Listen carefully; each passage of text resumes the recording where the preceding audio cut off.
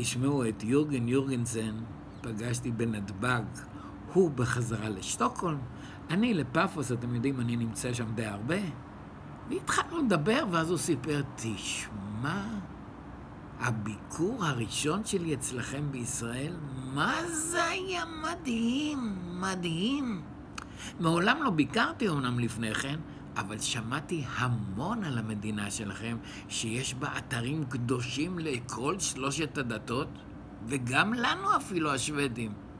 ארבעה סניפים של איקאה יש לכם.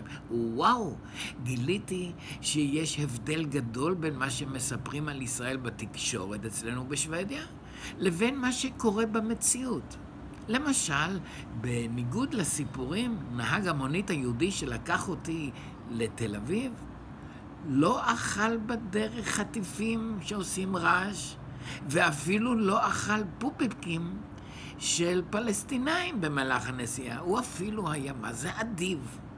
לא לקח תוספת על נסיעת לילה, אלא רק גבה את המחיר הנורמלי שכולכם משלמים 190 יורו לתל אביב, שלא כלל תוספת של 70 יורו על מזוודות, וכמובן על פתיחת המזגן בערב. כל הכבוד. נו, מילא, לפחות האנשים כאן מאוד מאוד חייכנים. יש גם המון תיירים. למשל, רק בדירה שאני שכרתי ברחוב מלצ'ל בתל אביב, גרים עוד 46 תיירים. אמנם לא סיפרו לי על זה כשמצאתי את הדירה ב-Airbnb, אבל מצד שני הבנתי שגם לא סיפרו את אותו סיפור לשאר התיירים.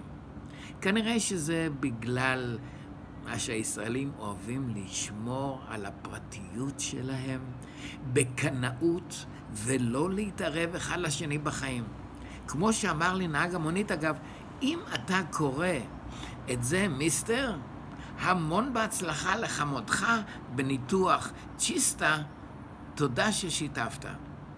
היום לקחנו מדריך והיינו אמורים לטייל במקומות כיפים שהמליצו לנו עליהם בכותל המערבי, זה שאותו קיר שנשאר אחרי שהרומאים ניסו לחסל את היהודים במצדה, שזה מקום שבו היהודים התאבדו כדי שלא יחסלו אותם. ובים המלח לשם באים יהודים מכל העולם שהפסוריאזיס מנסה לחסל אותם. ממש חיכיתי לטיול הזה, אבל לצערי בבוקר הודיעו לנו שהוא מבוטל. בגלל שיש מלחמה. בהתחלה קצת נלחצתי, אבל הסבירו לנו שהמלחמה זה רק בדרום, שזה כנראה אזור מאוד מאוד רחוק, כי הבנתי שלוקח יום שלם להגיע מתל אביב בתחבורה הציבורית. שאלתי על מה המלחמה, והסבירו לי שזה בגלל שישראל רבה עם ארגון שנקרא חמאס, שזה כנראה סוג של מפעל לנשק, כי ממה שהבנתי, ישראל מקבלת מהחמאס טילים, והיא בתמורה משלמת לו כסף. אבל הפעם הישראלים כנראה שכחו לשלם, אז החמאס יורה עליהם. לדעתי, זה צעד די קיצוני, אבל כנראה שבישראל זכויות עובדים הם דבר מאוד מאוד חשוב. עובדה שמתוך השבוע שאנחנו פה, היו רק שני ימי עבודה בשאר. היה שבת וגם חגים. מדהים. למי שלא יודע, שבת זה יום בשבוע שבו ישראל דואגת לפרנסה של המיעוטים, ורק להם מותר לעבוד. וואו, כמה נאור זה. בכל מקרה, אמרו לנו שאם במקרה המלחמה תגיע גם לתל אביב, אז נשמע אזעקה עולה ויורדת, ואז נצטרך להתחבא במקום שנקרא ממ"ד, ממ"ד, שהסתבר שאצלנו בדירה הוא נמצא בשירותים. זה נוח, כי אנחנו גם ככה שם כמעט כל היום, מאז שטעמנו פה מאכל מקומי שנקרא סודוך.